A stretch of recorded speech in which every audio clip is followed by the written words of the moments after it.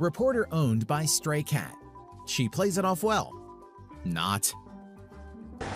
And Grand Rapids celebrating their new title as Beer City USA in a very appropriate fashion later today. I'm Nicole DiDonato, live in East Town.